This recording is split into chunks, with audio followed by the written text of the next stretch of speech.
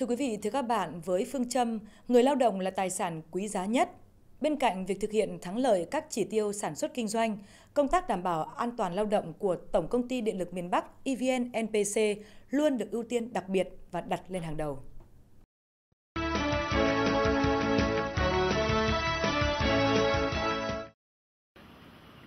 Quyết tâm thực hiện việc phòng ngừa tai nạn, nói không với tai nạn lao động.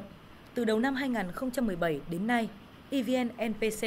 đã xây dựng chương trình hành động cụ thể và tổ chức triển khai thực hiện về an toàn vệ sinh lao động trong các đơn vị thành viên như xây dựng mục tiêu phương hướng phòng ngừa tai nạn lao động, bệnh nghề nghiệp hàng năm, kế hoạch triển khai công tác an toàn theo từng quý trong năm, tham gia khóa học đào tạo kiến thức cơ bản, đánh giá rủi ro các công trình do Bộ Công Thương tổ chức, xây dựng đề cương chi tiết kiểm tra công tác an toàn vệ sinh lao động và kỹ thuật an toàn tại các đơn vị, ra soát, bổ sung các nội quy, quy trình, biện pháp kỹ thuật an toàn lao động và phòng chống cháy nổ, vân vân. Năm 27, ngay từ đầu năm thì chúng tôi đã ra soát lại, củng cố lại cái hệ thống quản lý về công tác an toàn vệ sinh lao động của toàn công ty và đồng thời cũng ra soát lại các quy chế quy định nội bộ của mình xem là có những vấn đề gì cần phải củng cố bổ sung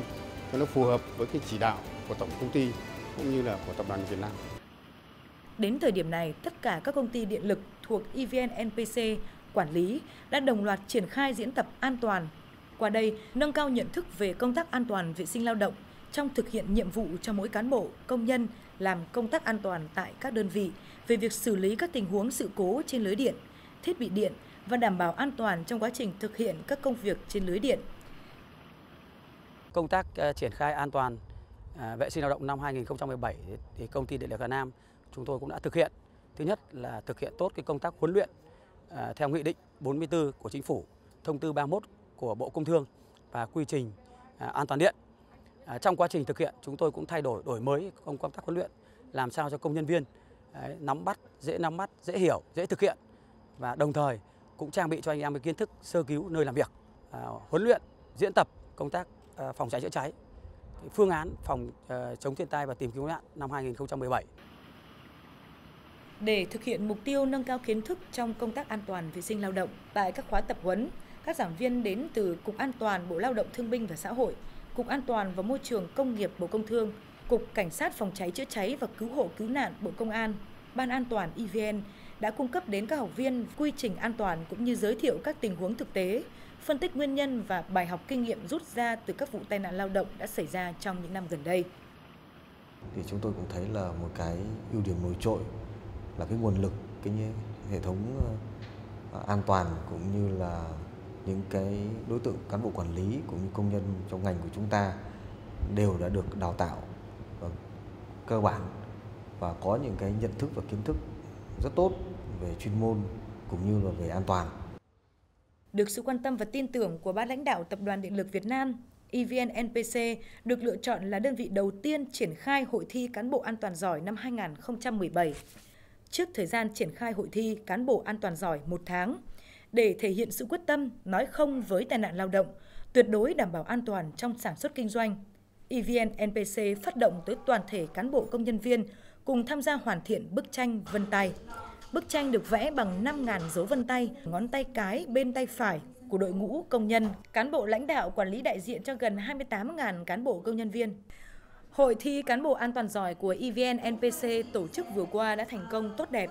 Trung cuộc, công ty điện lực Nam Định đã xuất sắc đạt giải nhất, giành cúp an toàn lao động. Giải nhì thuộc về công ty điện lực Lào Cai và công ty điện lực Hà Nam. Qua hội thi này thì ờ, cũng chúng tôi cũng có cái dịp để cho anh em cán bộ an toàn ờ, học tập, rèn luyện, huấn luyện cái kỹ năng nghề nghiệp nhằm đảm bảo an toàn trong sản xuất ở đơn vị. Thế và trong thời gian tới thì ờ, tôi hy vọng là lực lượng cán bộ này ờ, sẽ có kinh nghiệm, có trình độ hơn, góp phần vào trong công tác phòng ngừa và nói không với tai nạn lao động. An toàn lao động là yêu cầu, là nguyện vọng chính đáng của người lao động, là hạnh phúc của gia đình, xã hội và là nền tảng cho sự phát triển bền vững của doanh nghiệp. Chăm lo tốt đến đời sống người lao động, đảm bảo an toàn lao động là yêu cầu thiết thực của hoạt động sản xuất kinh doanh. Với trách nhiệm của mình, EVN NPC luôn chủ động xây dựng kế hoạch, chỉ đạo các đơn vị chủ động triển khai đồng bộ, quyết liệt về mọi mặt trong công tác an toàn vệ sinh lao động và mục tiêu năm phòng ngừa tai nạn nói không với tai nạn lao động của EVN NPC muốn thực hiện hiệu quả, không thể thiếu sự vào cuộc mạnh mẽ của tất cả lãnh đạo các đơn vị và tổ chức đoàn thể mới có thể thực hiện được.